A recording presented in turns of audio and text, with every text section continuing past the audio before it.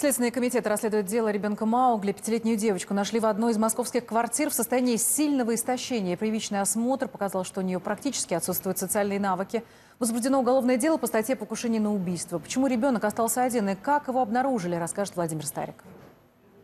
Господи помилуй, это что, шутка, что ли? Соседи и полицейские не скрывая свой шок. В этой квартире дома на Ленинградском шоссе скопилось столько мусора, что в него можно провалиться по пояс, а посреди этой свалки пятилетняя девочка Люба. Солнышко Любашка, маленькая моя, девчуля. Все, не бойся, не бойся. Она была в шапочке, в очень грязной, в грязной футболке и без штанов, ну, голенькая снизу. Люба была истощена. Соседи говорят, залпом выпила пару стаканов воды. Сложно представить, как она выживала в таких условиях, без кровати и туалета посреди гор хлама. Девочка так долго носила на шее резинку, что та буквально впилась в кожу. Ребенка тут же отправили в Тушинскую больницу. Девочка более-менее адаптировалась, она сейчас э, уже более-менее привели, помыли все. Вчера мы пытались ее тоже помыть, но только помыли только тельце.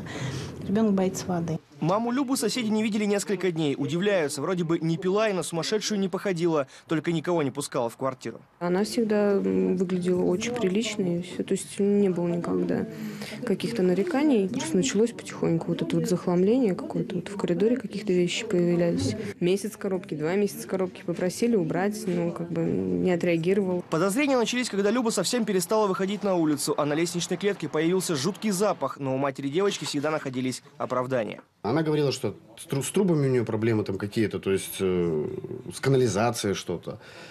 И все, мы на этом как бы успокаивались. Но ребенок, ребенок плакал периодически. У нас э, наши участковые приезжали, стучались, пытались, э, искали ее. Полицию вызвали и в этот раз, когда девочка плакала без перерыва несколько часов.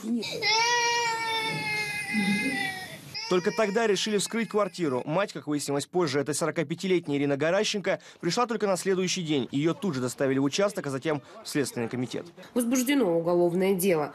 В настоящее время мать ребенка задержана. Следователи допрашивают женщину и устанавливают все обстоятельства и причины произошедшего. Много полезного следователям могла бы рассказать сама Люба, но девочка в пять с половиной лет вообще не разговаривает и боится людей. Врачи подозревают, у нее серьезные задержки в развитии. Квартира, где жила семья, сейчас опечатана.